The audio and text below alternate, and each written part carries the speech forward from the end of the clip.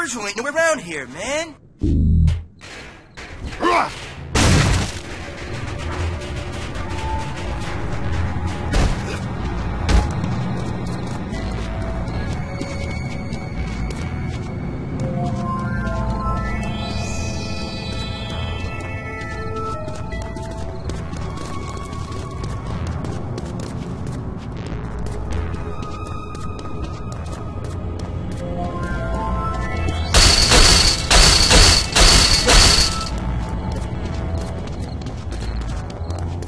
Yeah.